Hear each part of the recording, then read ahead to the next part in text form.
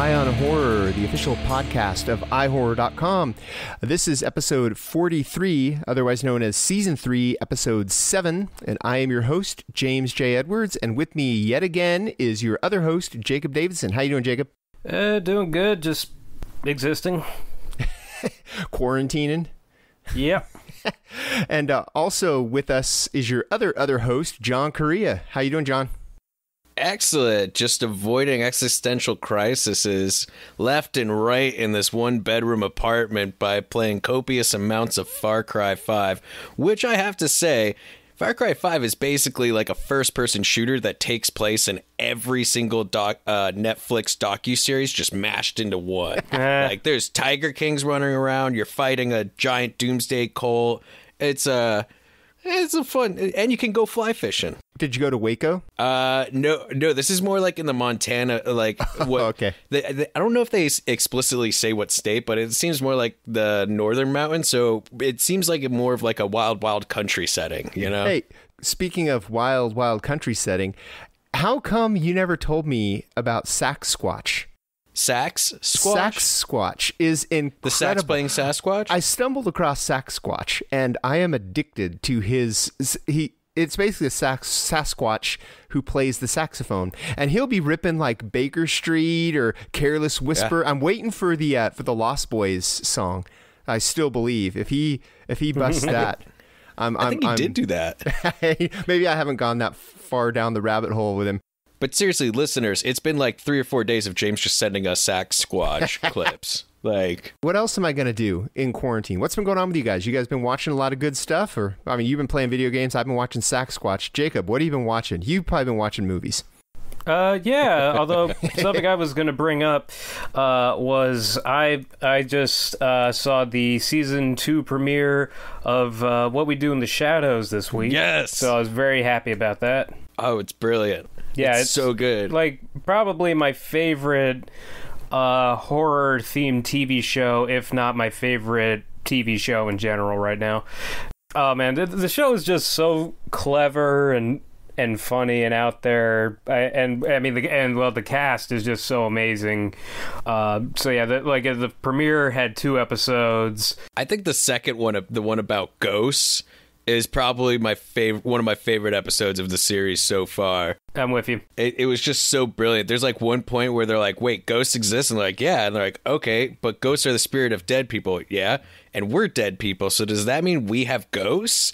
And they're asking these questions, and they're like, "Well, we don't know about Colin Robinson, and Colin Robinson's an energy vampire." And they're just like, "I love that guy." We don't know his deal, and like they kind of start continuing on, and then he just kind of cuts him off. He goes, "Yeah, I don't know really know my deal either. So, you know, I just keep trucking. it's just like, and the running gag of that or like the subplot of that episode is Colin trying to get somebody to do Updog. Oh. I I have to tell you that has been an absolute annoyance to about five or six people who know me all week is me since trying to get people to do the up dog and then other dumb like jokes. After they did that on The Office, one of my coworkers at the time would always be trying to get people to do up dog. It's, oh boy. So it's it that, that's been going on for years. my favorite is going, "Hey, can you give me that thing under there?" And they go underwear, and I just go. uh, it's so easy to do on a on a set, you know, because you just you're everyone's always asking for something, so just going like, "Hey, can you give me that under there?" Underwear? And there's always something under there. John, are you an energy vampire? Pretty much. I mean, another thing I've been doing every week, um, like uh, you know, I worked at the American Cinematheque, and one of our film series was uh, Cinematic Void. You know, it's like a screening series of like genre movies and horror and stuff. So uh, Jim Branscome, the guy that runs that, uh, started doing a weekly stream on Friday nights of like movies with like weird commercials and stuff.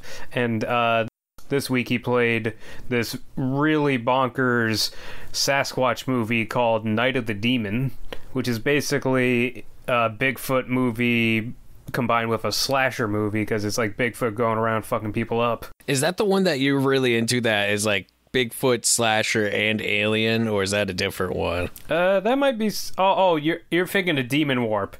Yeah, no, I, you're thinking of Demon Warp. Gotcha. Okay. Yeah, this one uh, was like apparently. Yeah, this one's from like 1980, and it's about these uh, students or whatever like tra- tracking down these disappearances in the woods, and it. Apparently, the story behind it was it was like kind of a more basic '70s ish uh, Bigfoot movie, like uh, Boggy Creek or something. But then, you know, it was around 1980. Slashers were really big, so the producers added a bunch of scenes of the of Bigfoot going around killing people in incredibly gory ways. Like even pulls uh, a sleeping bag kill uh, several years before Jason. Like like Bigfoot throws a dude in a, in a in a sleeping bag into a tree and he gets impaled on a branch. Okay. First of all, that's how you can sell me on anything. Well, I feel like was that done in Prophecy too? Oh As- wait, as yeah, you're right. You're right. Sleep. There was a sleeping bag kill. Yeah, remember the the bear thing? Like that. That one person's trying to hop away in the sleeping bag, and the bear just swings and just fucking destroys them. The zipper is stuck. I feel like that was the TV commercial for Prophecy at the time. It was just that one scene, and the kid uh, with with the stuck zipper hopping away. And the bear just like swings down and obliterates them. Wait, wait. I'm sorry. There is more than one movie with sleeping bag kills that I haven't seen. I suppose. Prophecy and Night of the Demon. All right. Yeah. Have you seen Prophecy, Correa? No. Oh my God! It's it, Oh, my prophecy. Prophecies inc- and and it, it it has kind of an environmental message, which you know, I mean, those never go out of style. But it's a Yeah. it's a pretty brutal monster movie. It's pre- it's Frankenheimer. Yeah, it's a. Oh, it's one, it was one of those post Jaws animal attack movies, you know, like Orca. Oh, dude. I, oh, I'm so excited for that. For Orca to come to the U.S. on Blue. Yeah, I I like purposely like held off on that on the Umbrella release for a while. I'm like, "Ah, I don't want to pay the importing costs for, you know, Orca, but Yeah, Scream Factory has delivered or or will deliver. Orca. Orca is more um is more Moby Dick than Jaws, though. Yeah, uh, funnily enough, I saw Prophecy, uh, Orca, and this other movie called Nightwing in a triple feature at the New Beverly a couple months back. Perfect. I the first movie I remember seeing in a theater was an Orca Grizzly double feature. Oh, and and I was probably six, so I mean I had a really cool mom. But I remember I had my um, I had my stuffed Shamu that I brought with me, and all the theater workers thought that was hilarious. That there's this six year old kid bringing his Orca to see Orca, aw, course. that's adorable. and that's what happened to me at such a young age to make me turn out like this. Hey, mine was similar. My my earliest movie memory is going to see Jurassic Park at the uh, drive-in, and I'm just sitting in the back with my dinosaurs, and everyone's telling my parents, "Oh, this movie's too scary for him." She's like, "What are you talking about? He loves dinosaurs. Look at this kid. What is that dinosaur?" And I probably said something stupid. I don't know. I love dinosaurs, but I was never that smart with them. Like I'd be like, "Oh yeah, that's the black-billed platypusosaurus." Or we'll fucking know. Plat- Platypusosaurus. telling you, I was fucking close stupid. enough. Close enough. You're just making shit up, and people don't even know. People who don't know dinosaurs are probably like, "Oh, this kid's brilliant." God, this kid's so smart. this kid's so smart. Look at him. Speaking of releases, I actually managed to fu- uh, get something new on Blu-ray. Uh, Underwater finally Yes! on on home video. Does it hold up? Is this like the fourth time you've seen it? Yes, and fifth. Fourth and fifth. You've already watched it twice. It just came out Tuesday. yes, yes, I did. uh, because it's awesome, James. oh, I love it. I need to come up with that. I would love to watch it. I've only seen it once. Yeah, oh man, like that's the thing. This was like probably my favorite movie so far this year. I saw it three times in theaters because it was a you know it was a cinematic experience. You know, just uh, it wa it was really cool going through all the special features because there's like like I think like an hour long documentary making of thing, and some other bits and pieces of trivia that kind of uh, expand on it. One interesting thing is, you know, that stuffed rabbit that T.J. Miller's character has in the movie. Originally, or, or like in su- in a different cut, it was a li- It was a living rabbit, like it was his pet rabbit, not a not a stuffed rabbit. I guess that makes more sense on why he'd want to save it. That changes everything. It really does. And yeah, yeah, it was for some kind of uh, Alice in Wonderland motif, you know, Oh, down down the rabbit hole. Yeah, and uh, yeah, it was really cool uh, going through like the special effects features and you know talking about all the creature effects.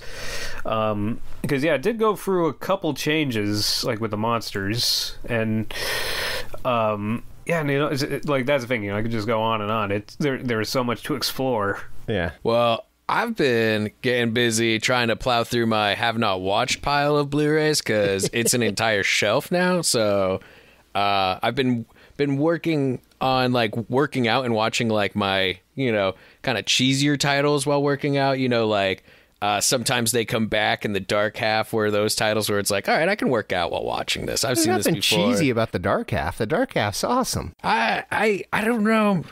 I think it was because that was my first Stephen King book. Like I, I'm just too critical of that movie. I will say it is one of the most faithful adaptations of a King book out there, but I'm still very critical of that movie. But I, I appreciate it. When I was a kid, I hated that movie, but I, I appreciate it a lot more now.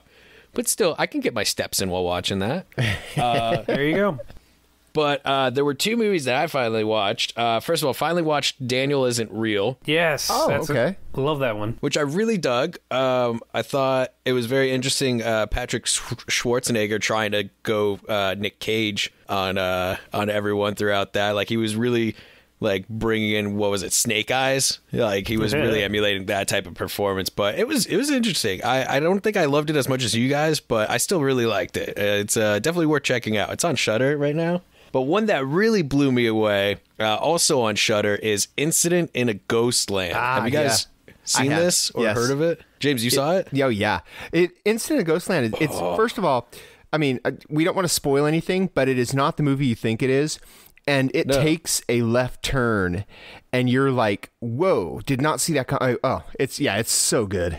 Well, first of all, it's from the director of the original Martyrs, and so shit. you you already know this guy is not afraid to be brutal. And this movie this movie does not reach Martyrs level. I've I've already been hype. I ordered a uh, import of of Martyrs on Blu-ray so that my fiance and I can watch. And I've just been like leaving no details except, hey, you know how Incident in a Ghostland was brutal, babe? She's like, yeah. I'm like, oh. Wait till Martyrs. oh, but incident isn't as brutal but it's still it's still a very angry movie very very angry um but yeah the less you know about it the the better because i knew nothing going into it. She was just like oh it's a home invasion movie. I'm like okay. Wow Yeah, not really. that movie fucked with my head quite a bit. Um and that's it's it's only really available on Shudder. Like i think there might be a dvd out here. It's a it's a hard one to track down. Even um uh like the official release in the uk you know i had to go directly to the arrow website to to get it so you know import costs. Oh yeah. that's what happens when you're reaching free folks it's import costs. But uh yeah highly recommended. That movie truly like the less said about it the better but it is it is not only really well done but it really fucked with me a lot during it. So uh that that is a highly recommend on mine if you like horror. Speaking of of uh, really fucks with you, um, I finally got around. I had been hearing about it for a couple years. I finally got around to Tag, not not the the comedy from a couple years ago, but Oh, the the Japanese Sono. movie. Yes, yeah. Have you guys have you guys seen that? I haven't seen it, but oh I Oh my I know God. it. not the one with Hannibal Buress and all that No, no, no.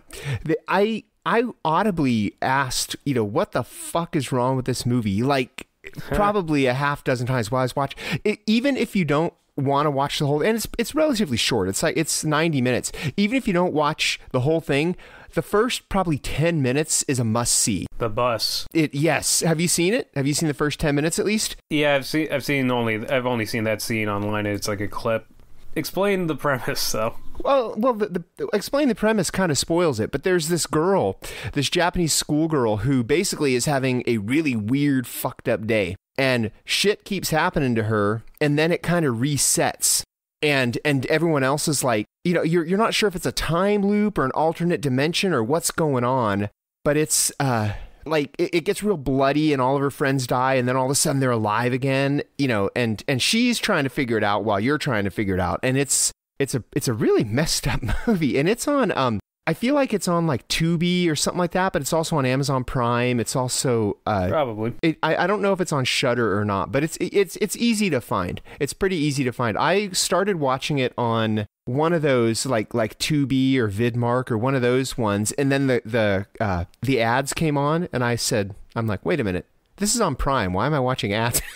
so I went, and I got it. I, I brought it up on Prime and fast forwarded to where I was, and I didn't have to deal that. I'm like, hey, I pay for Prime, so I don't have to watch ads.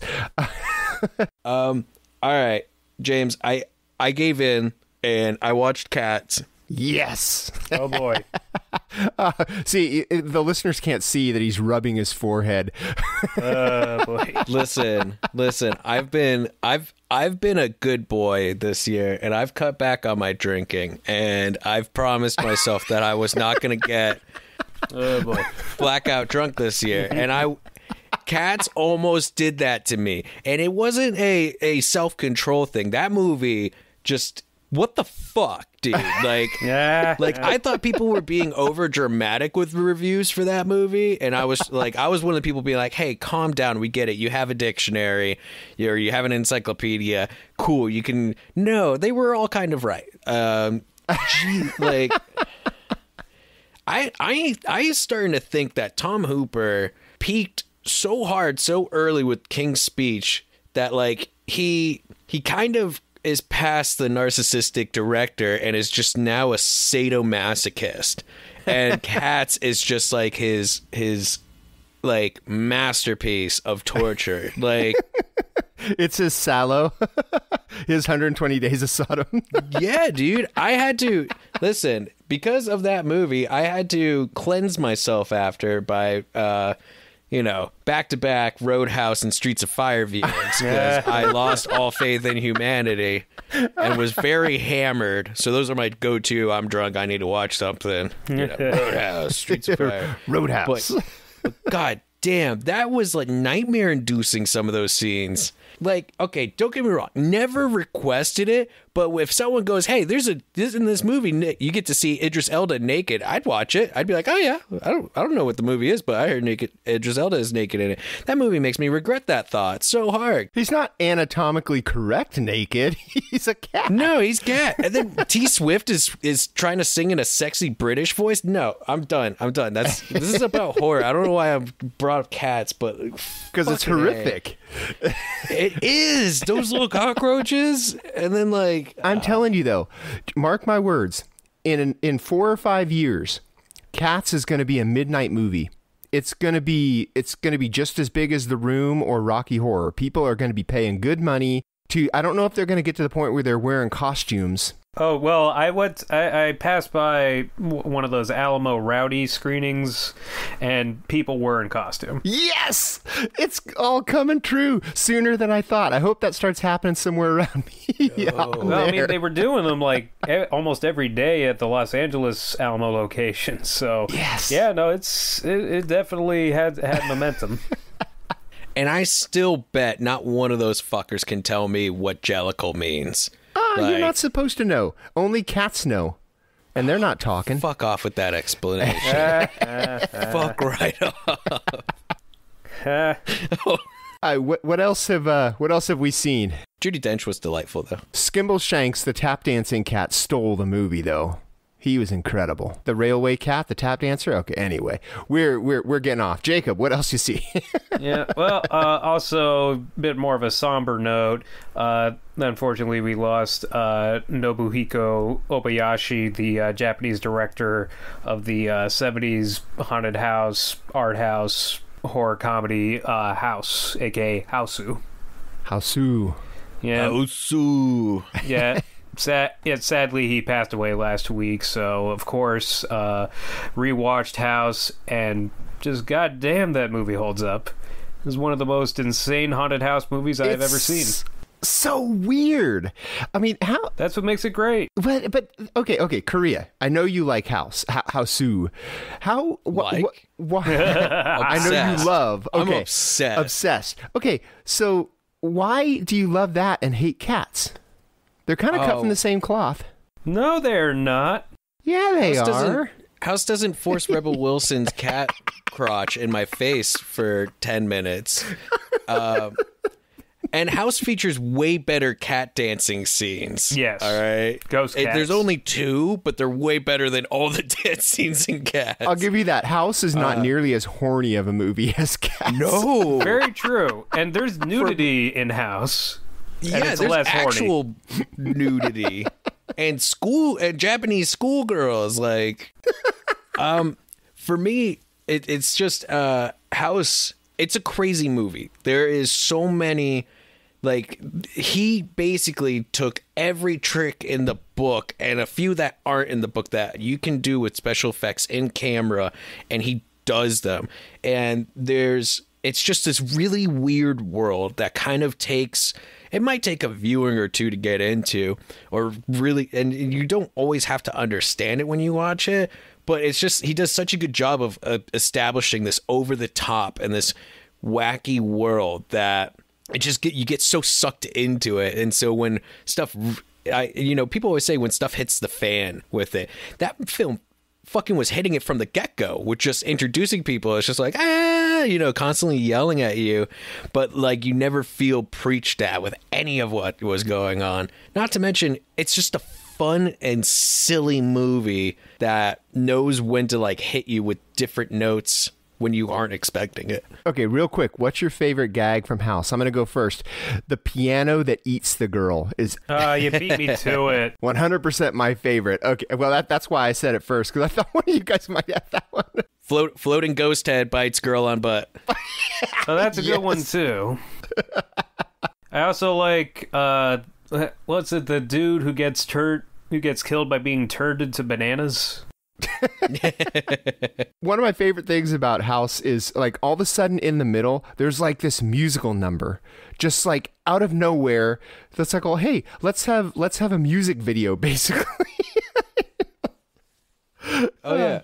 He's just throwing stuff at the wall, and it's all sticking. That's the best. I mean, it, it doesn't. Yeah. The movie's so weird that anything he does doesn't seem weird. I think on the Criterion release, they say that it's like a Scooby Doo episode directed by Dario Argento.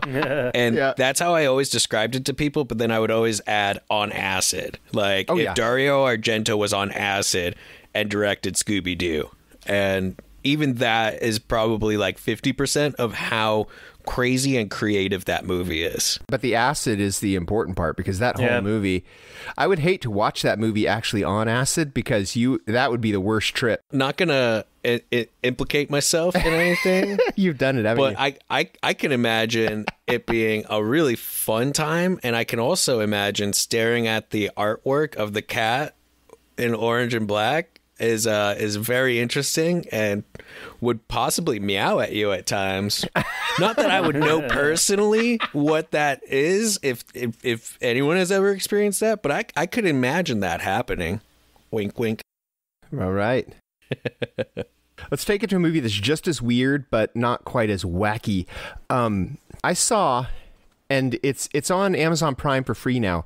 Antrum. Have you guys heard about Antrum? Uh, no. Uh, Okay. oh yeah, Antrum. yeah, a little bit. the, the subtitle is the deadliest movie ever made and supposedly what it is is it's a cursed movie supposedly this movie is um, everyone who watches it dies and what it is there it, it's about an hour and a half and there's like bookends so the movie itself is probably an hour and 10 minutes but there's um there's like a lead up to it where they talk about people who film festival programmers. It's supposedly a movie from 1979 and it got sent to these film festivals and all the programmers who watched it would end up dying. Like they would have like seizures or one um, fell on a poisonous uh, stonefish and you know i mean like messed up stuff.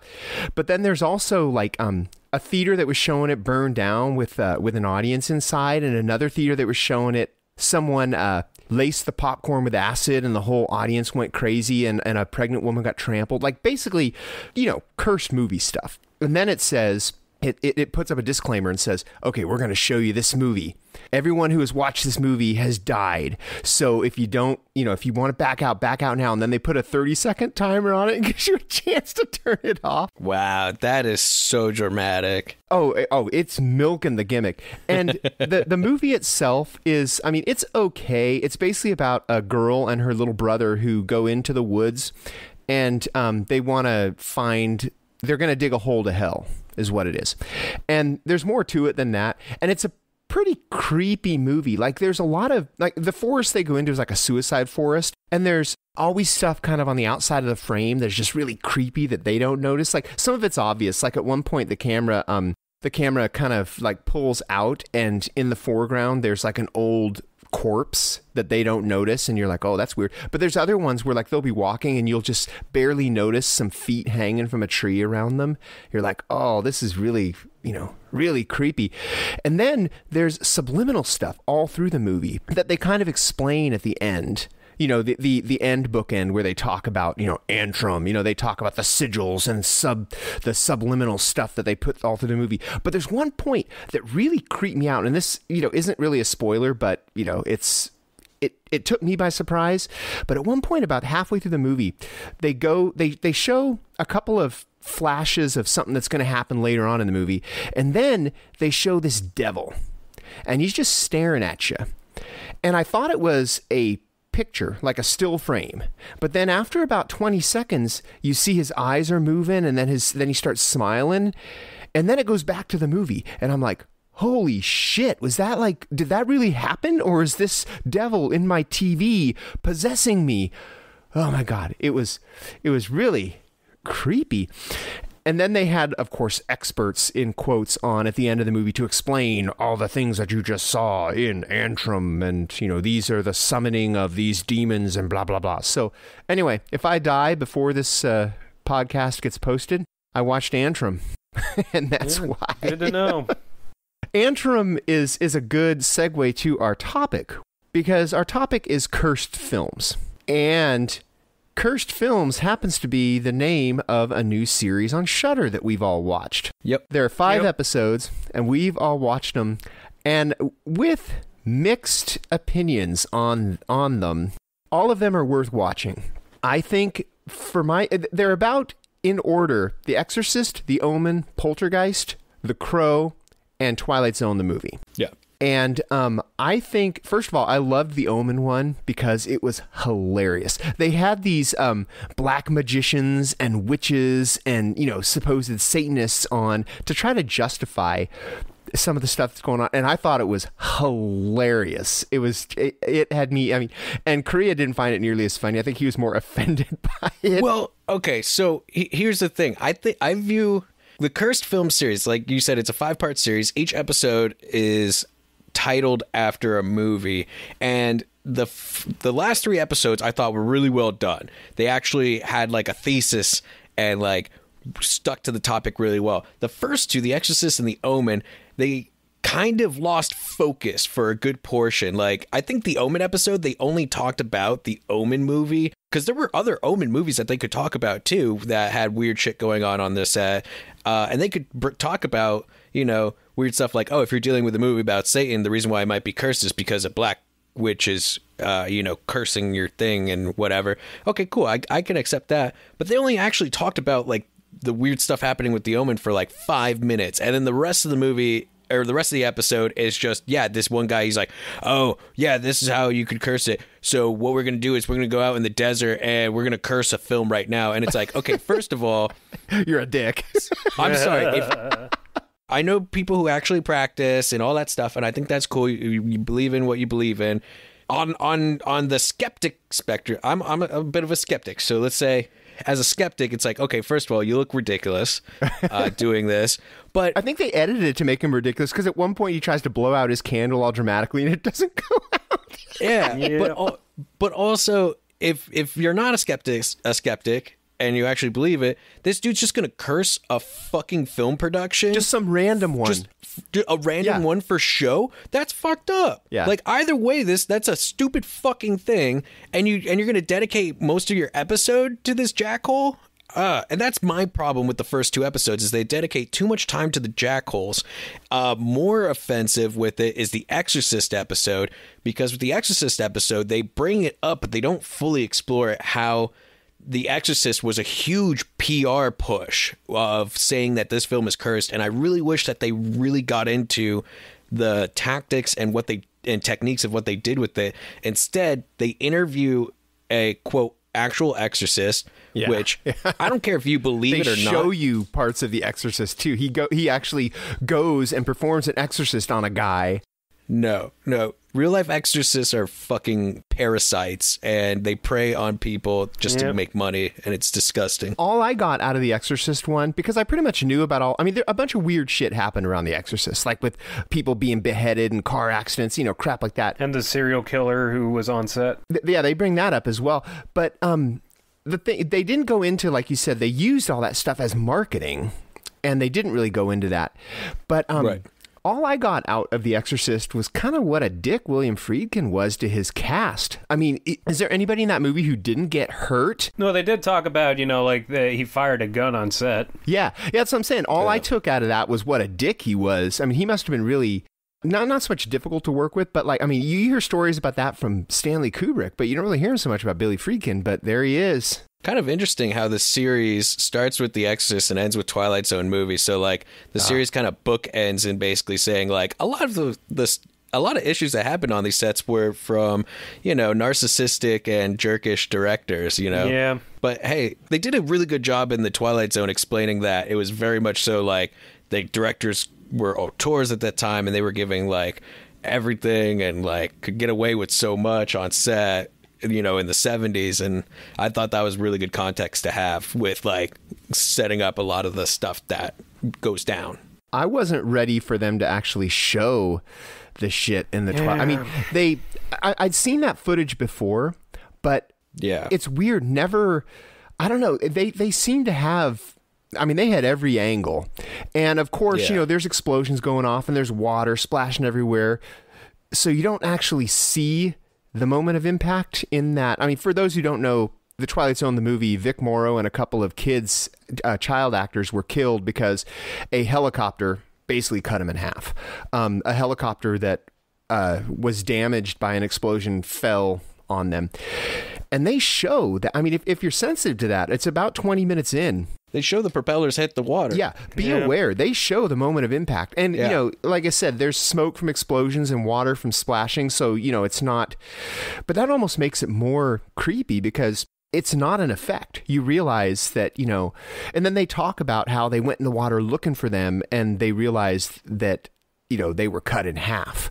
And, you know, and, and this was at like three in the morning, and these were chi- that was the big stink, is these child actors weren't supposed to be working past I think eight p.m. They were hired illegally, actually. No permits. Yeah. and they were um and and here they are at three in the morning trying to get this shot that um and and they they had interviews with uh with the effects I think it was the effects guy who um he was walking the set and he saw all these charges where he didn't put them. He's all The production designer, yeah. He's like, no. We is there anything else on this set I need to know about because this is not cool. So I mean, it it really makes Landis look bad, like really well, it bad. makes Landis and the producers Yeah. look bad, and and that's one of the things that I really, at least with how they like picked what movies and when to show them.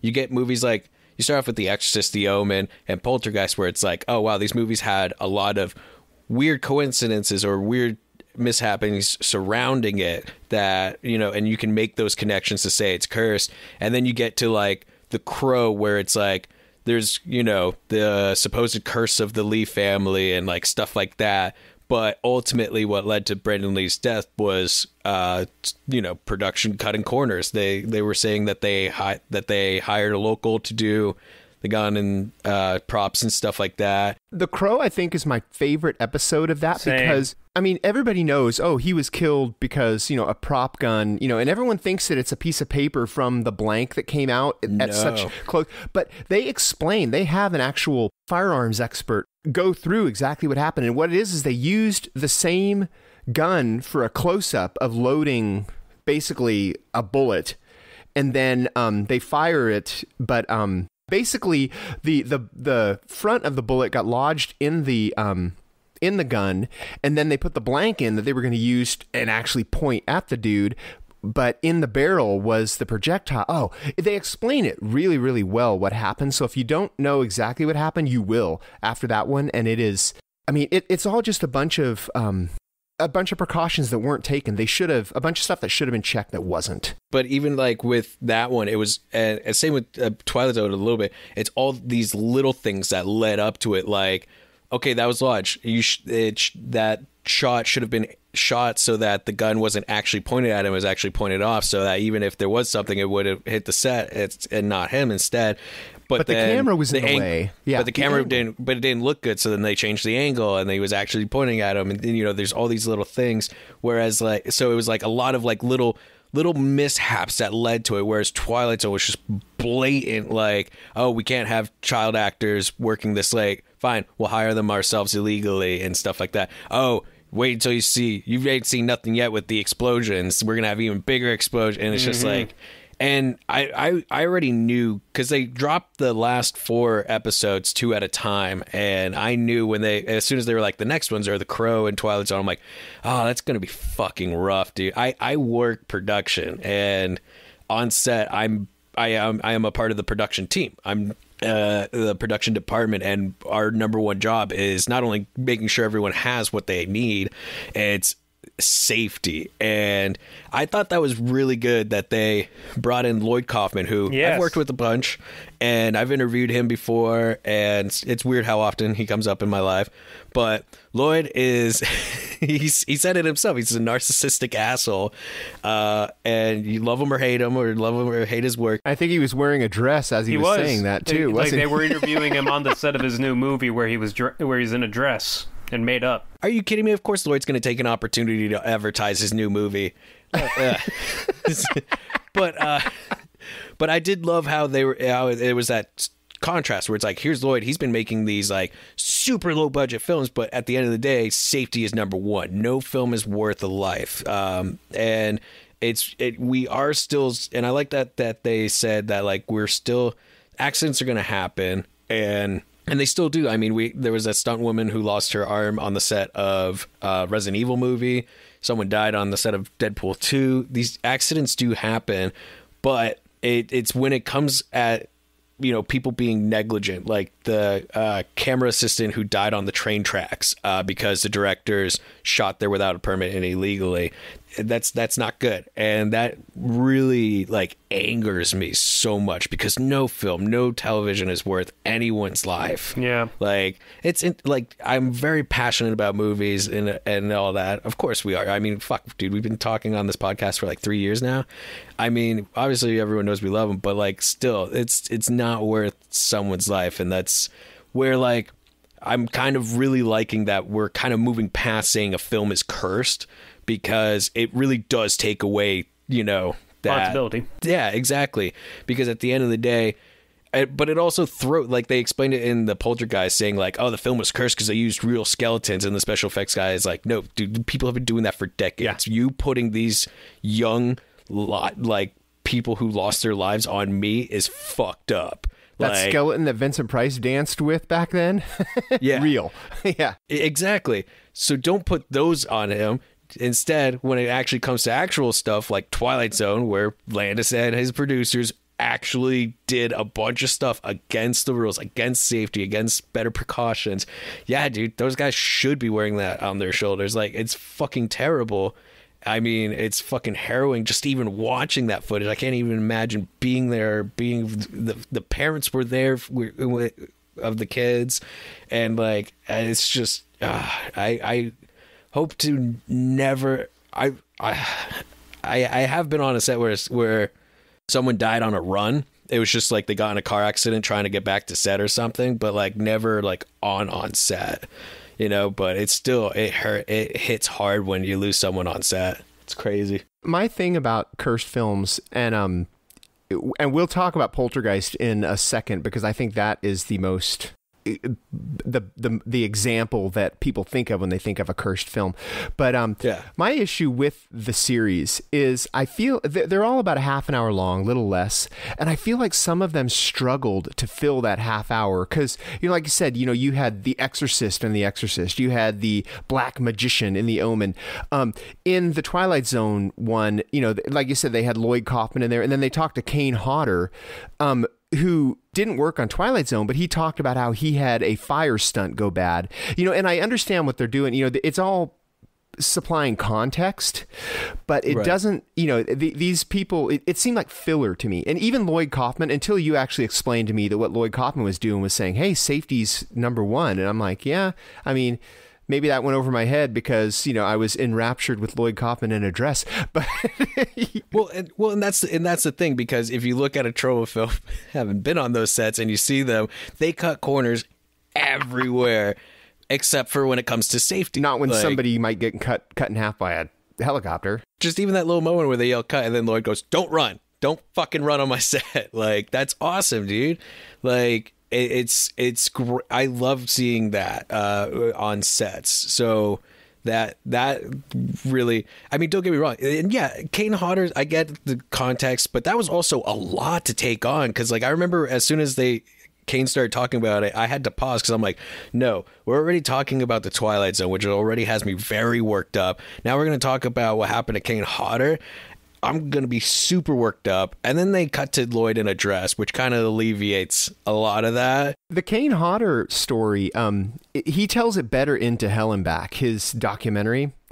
oh dude Um, That one, that fucking- one will have you in tears. Yeah, dude, I was bawling my eyes out through half that movie, especially when he was talking about what he went through after the incident and like recovery. Oh, I still got to see that one. Oh my god! highly recommend to Hell and great. Back. That's great. Yeah. But um, as far as Poltergeist goes, now people al- always say just because you know, and I I say just because not to lessen it, um, because Heather O'Rourke and Dominique Dunne both died after production, pe- that's the one people say, oh, it was a curse. It's like, well, no, it just, I mean, it's unfortunate, but it's a coincidence. I mean, Dominique Dunne was murdered. Heather O'Rourke was, um, it, actually, it comes, yeah, well, that's the thing. It comes out. I didn't realize she was misdiagnosed um, until the cursed film show, where they they talk about, you know, no, they've been treating her for the wrong thing, and that's probably what killed her. And uh, was it Gary Sherman um, talk about how he was a pallbearer at her at her funeral? Yeah, the director. Yeah, Yeah, that was that was so uh, so intensely sad. But the thing is, what what they did right with it, it they didn't they didn't lean into how oh this production was cursed. They they kind of debunked it by saying oh yeah well those skeletons might have been real, but that's nothing new. And then I, I think it was a good tribute to both Heather O'Rourke and Dominique Dunne more than it was a look what this movie did to them. You know there were there were no fingers pointed in the Poltergeist one. And that's what cuz there was little glimpses of it throughout the series of the series debunking things and I really wish they had done a, a better job of it, especially in those early episodes, instead of filling so much time with the jackholes, especially the fuck. Like I, I know I'm very angry with uh, the the people from the Conjuring movies, the real life guys, but like real life Exorcist really fucking pissed me off. The Omen one was funny because um, I feel like they were debunking it when they brought all the jackholes on, but they weren't clear about debunking it. They were just they were basically letting them talk, and um, they didn't put it into context. So, which I think they did in especially in the Poltergeist one and the Crow one. You know that Yeah. wasn't a curse. That was just. I mean, I I'm just impressed with how well they explained what happened. Step by step. That's what blew me away about the Crow. and I just wish they did it like a like a like a better job of saying like, all right, we're going to talk about the omen for a little bit, but this episode is all about coincidence, about how when it comes to curses, it's purely coincidence. You can say that it's black magic. You can say it's you know the devil influencing the thing. But and I did like how with the Omen thing and with the Exorcist at some point at some points people were like, well, why wouldn't the devil want to be why would the devil like want to curse movies about him? Like, wouldn't he want to curse like you know Christian faith movies? like, wouldn't that make more sense? Like movies that would turn people to God more as opposed to this. But the greatest trick the devil ever pulled is convincing people he doesn't exist.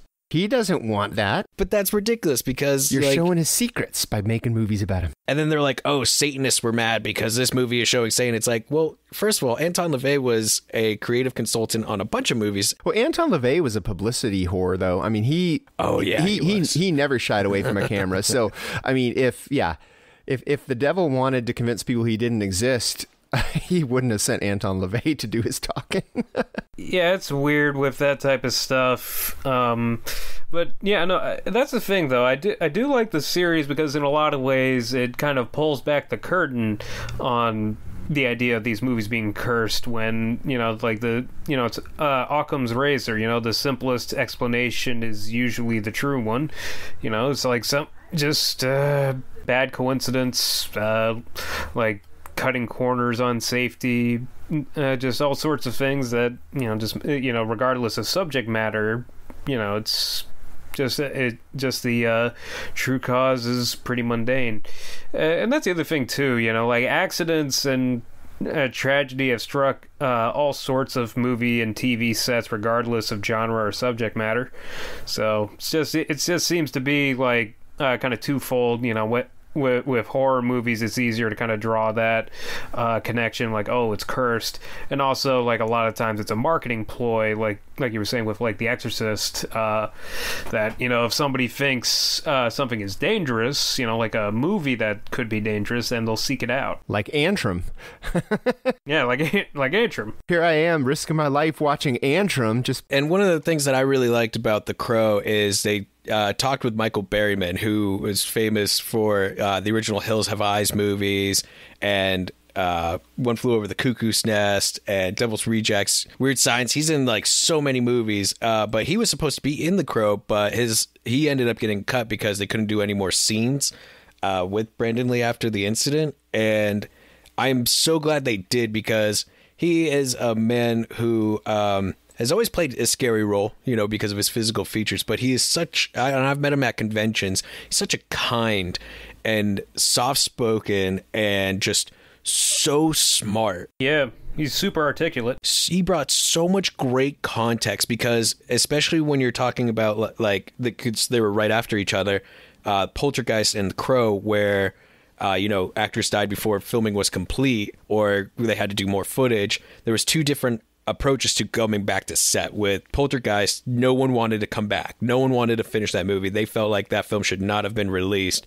Whereas uh, the creators and make, makers of The Crow understood this is something that Brandon Lee really believed in. He really loved the project. His fiance and mother both said that he was very proud of his work in it and wants that film to be finished. And Michael Berryman just really uh, he, he put he said it so well in saying that the material came from a place of love and heart and so did Brandon's performance and that's how everyone came back. They were like, "No, we're going to make, finish this movie and we're going to make a good movie for Brandon." And I really loved that. And also just any chance to listen to Michael Berryman, that man again, can't stress how kind he is, especially with how often he is put in in the role of like, you know, dangerous and evil folk. That, like I actually uh, saw him at uh, Cinefamily a few years ago when they were doing a memorial screening for uh, Wes Craven shortly after he passed away, and yeah, Michael Berryman was there, and he and he gave an incredible kind of uh, eulogy of sorts uh, for for Wes, or you know, just kind of talking about working with Wes and his and his career and working on The Hills Have Eyes and all that.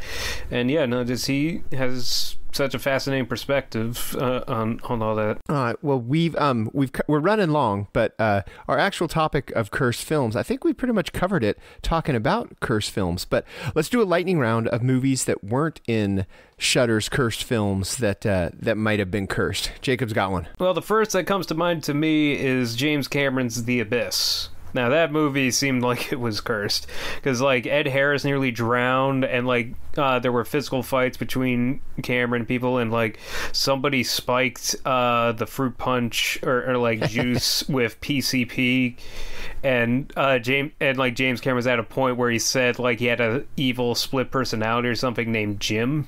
Like it was James Cameron was the good one, Jim was the bad bad one, or or you know he's saying like that's kind of how he felt he was on set. So yeah, no man, that just I've read the stories and it just sounds like that that film set was a nightmare. Oh, I got one. Okay. The original Doctor Dolittle. Huh. Let Okay. me tell you, if you have a solid hour or so, look up what happened behind the scenes of the original Doctor Dolittle. It went from everything from the main actor being a drunken racist to uh to the point where like the kid actors started bullying him. Um there's like all these issues of like the animals just like shitting everywhere and like uh, stuff like that. But the single greatest thing I read about it is remember at the end of Doctor Dolittle how they have the giant snail and that's how they leave and like they're they were like floating off in this in the shell of this giant snail. Well, apparently the island that they shot at they re- they had not too long beforehand got ravaged by this like disease or something that was brought on that killed a lot of children um, from snails. So then here's this production building this giant fucking snail on, on their island. And so all the islanders were like throwing rocks at the snail and like throwing rocks at the production and all this stuff. It just seemed like there was so much with it. And then also there's the interesting story about how it's a terrible fucking movie. It's so bad. I hate that movie. And but like Fox spent so much money because they were trying to like get themselves out of out of in a, a, shitty area and stuff, and they're like, no, no, no, this is definitely the next Sound of Music. Also terrible, fuck that movie. but uh, uh, so they were like pushing hard that and like that's why it was nominated for so many Academy Awards, but won none of them. It's just because of all the schmoozing they did. But yeah, I think that film was cursed. Well, I think uh, people when people think of cursed movies, they they think of the Wizard of Oz almost first because, you know, you had people catching on fire and allergic to makeup, and you know, and then you had that mun- Munchkin who hung himself in that one scene on camera. Not really. That one is it was an ostrich. that was it was a flamingo or something.